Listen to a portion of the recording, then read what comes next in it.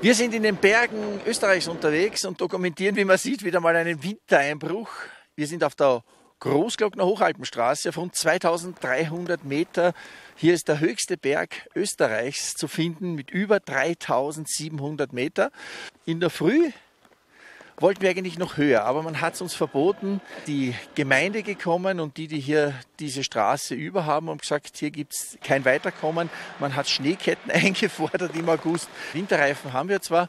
Ja, so sind wir auf 2300 Meter gestrandet. Macht aber nichts. Ihr seht, es ist auch hier Winter geworden. Man konnte gut beobachten, Ab 2000 Meter ist der Regen sehr schnell in Schnee übergegangen und wenige hundert Meter später war schon die Fahrbahn völlig mit Schnee bedeckt. Und da die Temperatur knapp unter dem Gefrierpunkt liegt, eist das natürlich sofort an. Ja, wir sind hier beim Mankai-Wirt. Das ist der Herbert neben mir. Dann kann ich dir am besten fragen über das Wetter, aber fangen wir vielleicht mit dem Mankai an. Viele in Deutschland wissen wahrscheinlich nicht, was das Mankai ist. Was ist ein Mankai? Manka ist ein Murmeltier, was in den Alpen lebt, im Winter schlaft, lebt bis drei Meter tief in der Erde und der ist natürlich höchst wetterempfindlich.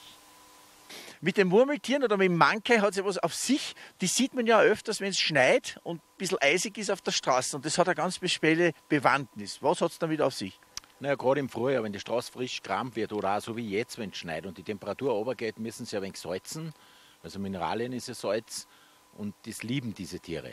Das ist dann ganz gefährlich nachher, weil es mitten auf der Straße Salz schlecken und du fährst mit dem Auto zu, wie die gehen keinen Decker weg. Gell? Bei uns ist so ein Wettereinbruch äh, nichts Besonderes eigentlich. Wenn ein Tiefdruck kommt und der Wind und die Feuchtigkeit dazu, dann schneit es da herum. Was man schon beobachten kann, es ist, ich bin so lange herum, die Winde werden ein bisschen mehr, stärker, aggressiver, öfter. Die Erwärmung ist schon da. Also am Hochdau auf 2500 Meter hat es voriges Jahr mal 26 Grad plus gehabt. Man sieht ja, wie die Gletscher ausschauen. Also da spürt man schon was, dass irgendeine Veränderung einfach da ist. Man will es nur nicht wahrhaben. Gut, ich danke dir. Ich gebe ihm jetzt noch eine Nuss, wenn ich darf. Und dann haben wir noch eine schöne Abschlusseinstellung. Direkt vom Mankai wird das Wahrzeichen hier am Großglockner. Hey, Mankai. Flo. Na, Flo heißt er. Flo. Schau. Bussi. Hm, so. Danke dir, Herbert. Gerne, ganz ja, und wir schauen auch diesmal wieder, wie viel hat es geschneit. In wenigen Stunden muss man sagen, weil es hat eigentlich erst in der Nacht hier zu schneien begonnen. So um 4, 5 Uhr früh ist der Regen erst in Schnee übergegangen. Dann ist es kalt geworden. Also schauen wir mal, wie viel Zentimeter wir hier haben.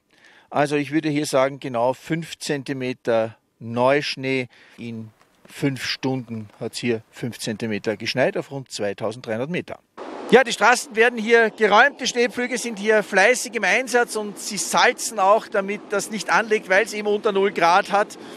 Ja, und trotzdem hat müssen ein Autobus heute Morgen absagen, der mit 40 Gästen hier zu einem Wirten gekommen wäre, aber er hat keine Winterreifen und somit konnte er heute leider nicht rauffahren. Das war es auch schon hier aus den Hochalpen auf 2300 Meter und wir sehen uns das nächste Mal wieder. Mein Name ist Andreas Stiedl von Wetter Online hier von der Großglockner Hochalpenstraße. Ciao!